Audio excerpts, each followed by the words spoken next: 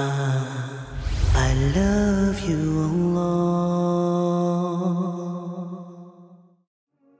And as I begin the second part of my khutbah, my dear brothers and sisters, I want to share with you another beautiful story. This is the story of a man who was originally Egyptian, but he lives in the beautiful city of Al Madinah Al Munawwara. And he has made Hajj for the last 20 years in a row, every single year. And he was doing an interview recently, and he was asked, You as a janitor, as a poor man, what do you think is the cause that Allah subhanahu wa ta'ala keeps calling you back to His house?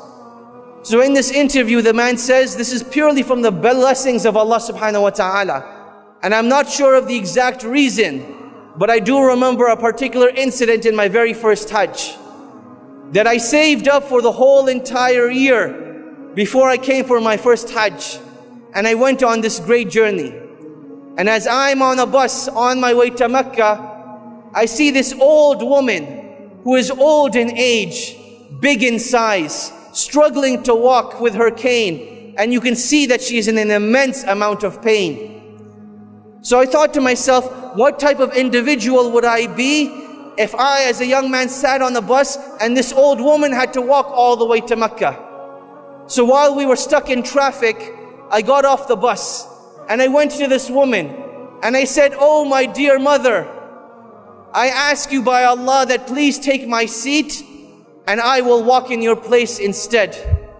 And this woman, she started to cry with tears, thanking Allah that Allah subhanahu wa ta'ala had sent someone that would take her on a bus rather than her having to walk.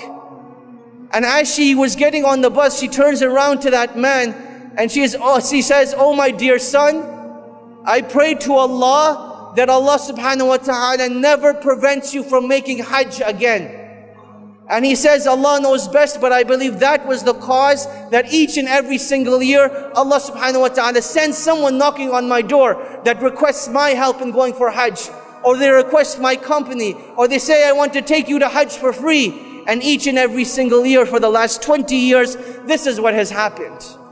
My dear brothers and sisters, when we make dua to Allah subhanahu wa ta'ala, we need to remember that nothing is impossible for Allah subhanahu wa ta'ala.